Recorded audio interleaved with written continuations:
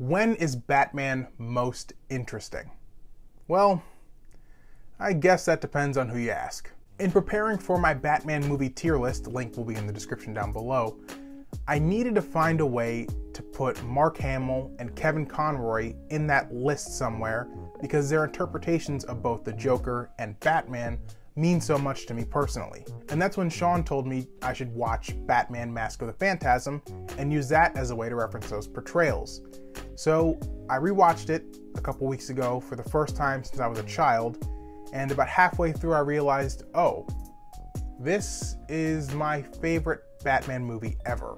And it's not because of really cool action sequences of Batman doing Batman y things, but it's because the film showed the character of Bruce Wayne in a way that I've always thought would be the most interesting. You see, a lot of people describe Batman the way that they describe him in the Dark Knight trilogy that Bruce Wayne is just a mask that Batman uses to fit into regular society. That Bruce Wayne died the night that his parents did.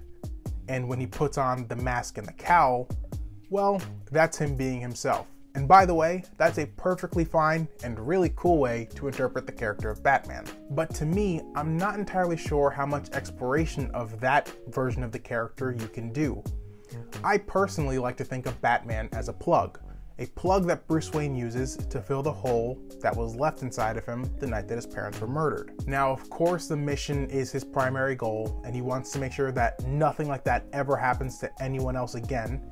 But when you really think about it, He's a genius billionaire.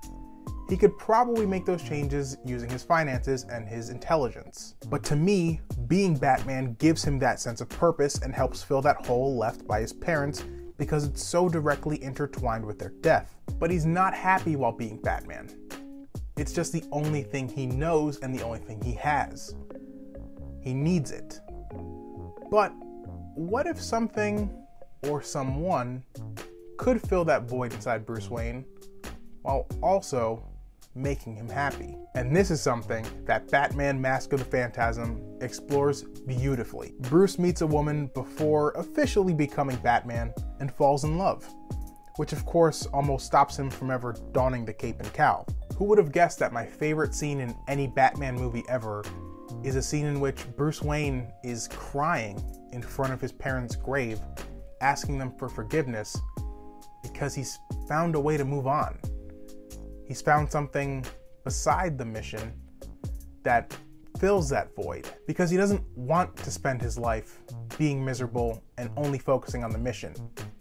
He doesn't want to be Batman.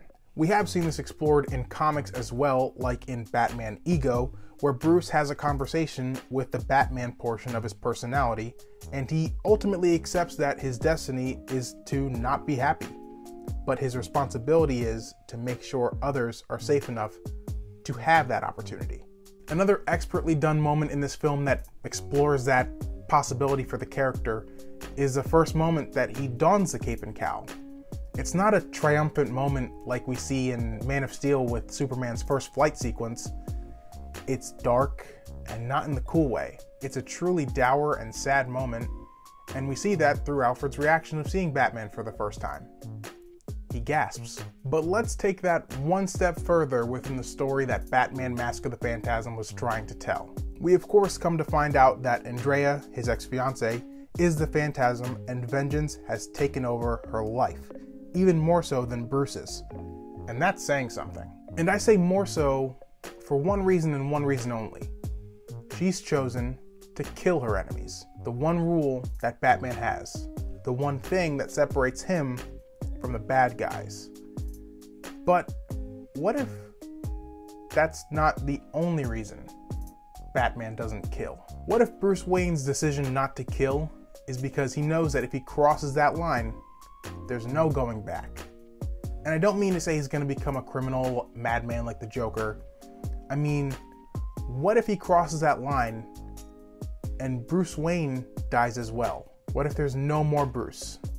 Only Batman only the mission, only sadness and anger, never happiness for the rest of his life, just like Andrea.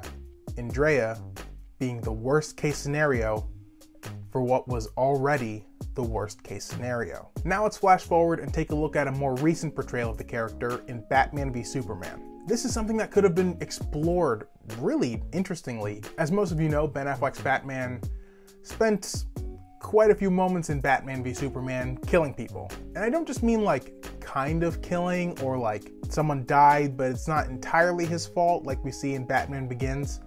I mean, he's killing people with guns, no questions asked. I mean, he's going full Dave Batista. And if we look at that Bruce Wayne, we see that there's literally no joy at all. He's in his 40s, he's still alone, and he's still only focused on the mission. But that's not necessarily the story that they seemed to be exploring in that film.